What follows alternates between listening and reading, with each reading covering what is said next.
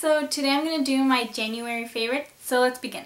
So the artist I've been listening to has been Kelly Clarkson. Her new CD, well, her new CD with like her old greatest hit songs.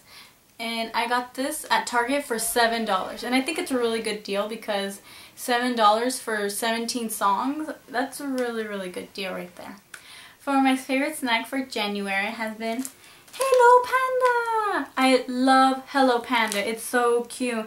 It has like, it's like a little cookie and it has chocolate and chocolate filling inside. So my favorite jewelry has been this cube ring and I got this at Forever 21 and it's so cute because uh, it's, it's unique. It's so my favorite item has been this cute um, Betsey Johnson purse. It's a heart. I've been looking for a heart purse for a while now.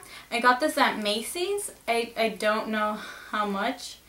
And that is it for my January favorites. I hope you guys enjoyed. Please stay tuned for more.